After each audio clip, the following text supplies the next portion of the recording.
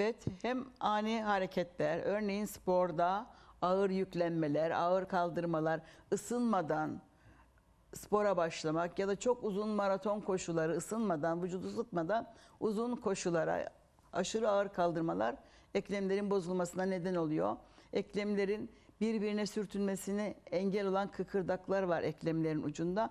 O kıkırdakların harabiyeti, zarar görmesi artroz dediğimiz kireçlemelere ve ağrılara, hareket kısıtlılığına, şişliklere neden olur.